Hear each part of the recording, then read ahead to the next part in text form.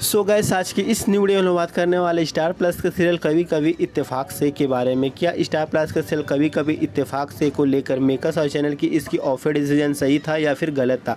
आज की इस वीडियो में हम लोग जानने वाले तो चलिए फिर देर न करते हुए वीडियो को स्टार्ट कर लेते हैं।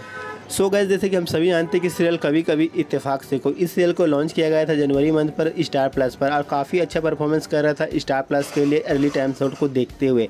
1.1 1.2 की टीआरपी लेकर आ रहा था जो कि अर्ली टाइम शॉट को देखते हुए काफ़ी अच्छी टीआरपी लेकर आ रहा था। पर मेकर्स और चैनल को इस शो से काफ़ी उम्मीद थी और काफ़ी एक्सपेक्टेशन था। मेकर्स और चैनल यह चाहता था यह शो जो है लगभग वन पॉइंट की टीआरपी लेकर आए अपनी टाइम शॉट पर, जो है लगातार यह वन पॉइंट वन की टीआरपी लेकर आ रहा था और कभी भी यह जो है स्लोट किंग नहीं बना और इसी को देखते हुए मजबूरन मेकर्स और चैनल को यह शो को ऑफ़र करना पड़ा स्टार प्लस से। और फिर उसके बाद जो है सेल कभी कभी इत्तेफाक से को रिप्लेस करते हुए नज़र आया स्टार प्लस का न्यूज़ ईयर रज्जो, जो कि रज्जो की भी ओपनिंग टीआरपी कुछ खास नहीं रही और सेम टीआरपी लेकर आया सेल कभी कभी इत्तेफाक से की तरह।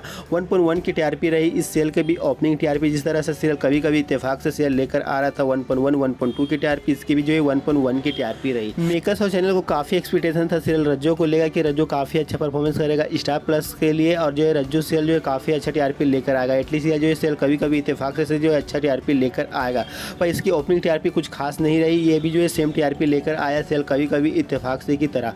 1.1 की टीआरपी लेकर आया रज्जो। हालाँकि इस सेल की अर्ली टाइम थोट को देखते हुए काफ़ी अच्छा टीआरपी लेकर आया है रज्जो। शो 1.1 की टीआरपी लेकर आया जो कि स्टार प्लस की सभी शो जो है इस टाइम थोट पर सेम टीआरपी लेकर आता है 1.1 की टीआरपी तो दोस्तों, अब ऐसे में कहा जा सकता है कि स्टार प्लस का डिसीज़न जो पूरी तरह से गलत रहा सेल कभी कभी इतफाक से को ऑफ़र करने का।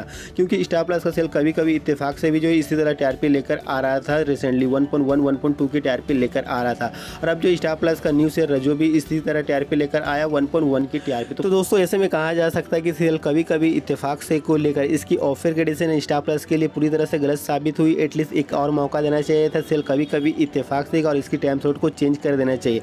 और इसे शिफ्ट कर देना चाहिए था सिक्स बजे वाली टाइम स्लॉट पर। एटलीस्ट जो ये zero point five zero point six की टीआरपी लेकर आ सकता था सिक्स बजे वाली टाइम स्लॉट पर। दोस्तों आपकी क्या राय है? सेल कभी कभी इत्तेफाक से को लेकर इसकी ऑफ़र का डिसीज़न स्टार प्लस के लिए सही था या फिर गलत था? नीचे कमेंट सेक्शन पर अपनी राय ज़रूर बताइएगा। और दोस्तों, अभी तक आपने हमारा चैनल को सब्सक्राइब नहीं किया तो प्लीज़ सब्सक्राइब कर लीजिएगा और बालेकिन को दबाना मत भूलिएगा।